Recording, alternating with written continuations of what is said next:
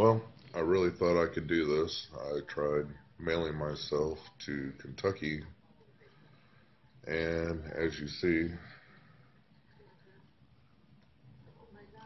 I am in the hospital. UPS guy picked me up, realized something was up, went and checked the box, noticed I was inside, and threw me out of the truck.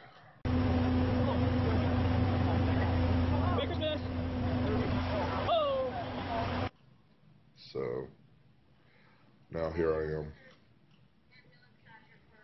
But I'm not giving up.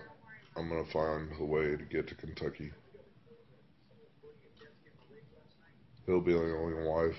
Yeah. I'll see you guys soon.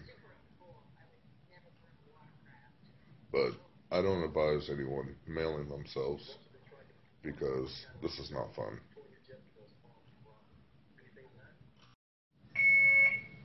The moment you know, you're fucked.